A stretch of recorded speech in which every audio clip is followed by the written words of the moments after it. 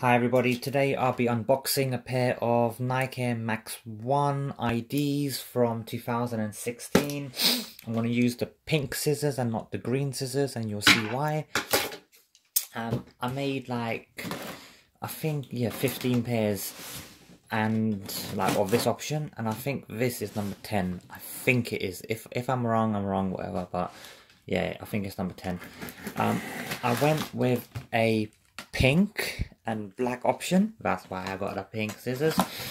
And yeah, you'll, you'll see. You'll see.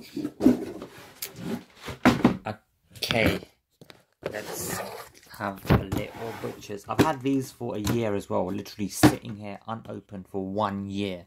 Literally one year. Oh my days. So, um, yeah, let's just see what they look like.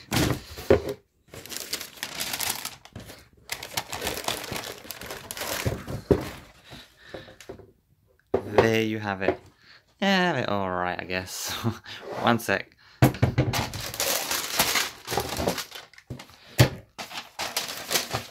This is the boring part of the video. Well, unless you find the rest of it boring too.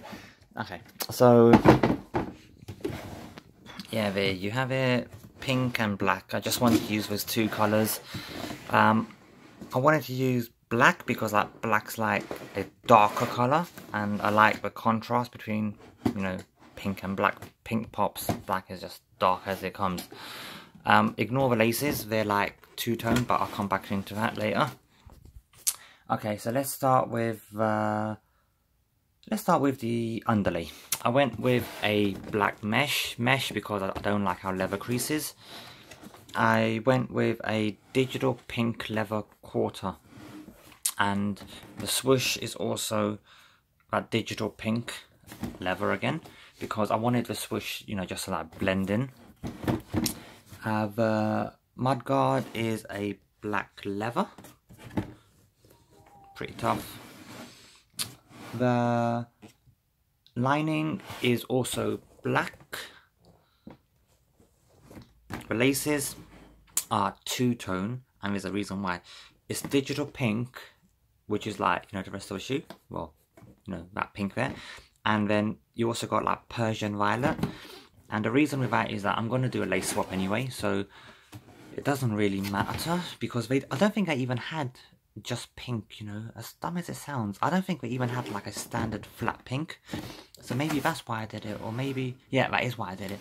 Plus I wanted that eyelet to be pink because if if those laces were like black, for example, the eyelet would have been black that's how they did it. So I wanted that to be pink. I mean, that was the closest thing you could do was have that, that two-tone. But I've got some next pink laces. Hopefully they will just like blend right in. If that doesn't work, I'll throw in some black laces. Ooh, maybe even black still. Um, if I do the pinks, I'll use... I've got some aglets. I'll just have some aglets like hanging down. I don't know. You know what? Shall I do that now? Um, yeah, hold up. Let me do that now, yeah? One sec. And we're back.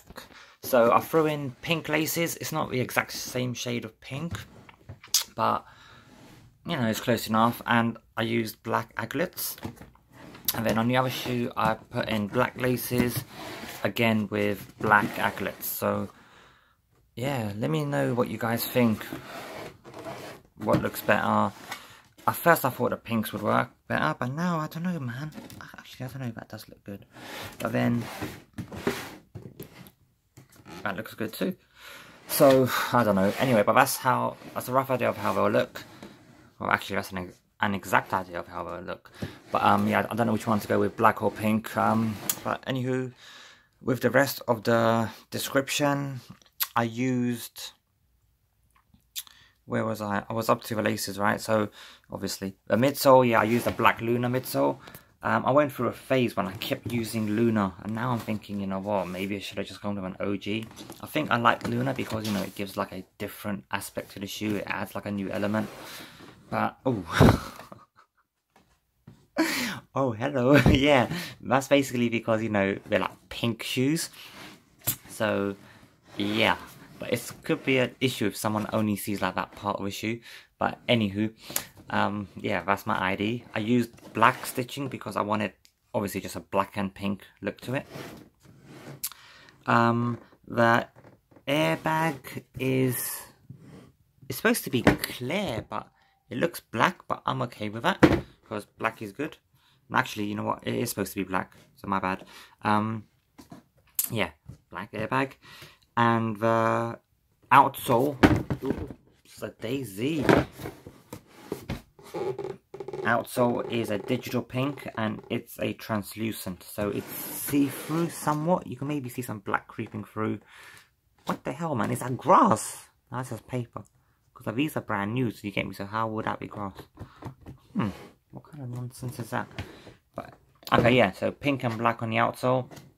Obviously, it's black because it's lunar outsole. Maybe that's why I chose a lunar midsole because you get like a two-tone effect. If it's just like an OG midsole, you'll get a solid pink, for example. Um, yeah. So these are my Nike IDs. I don't like how it's white on the logo, but it is what it is.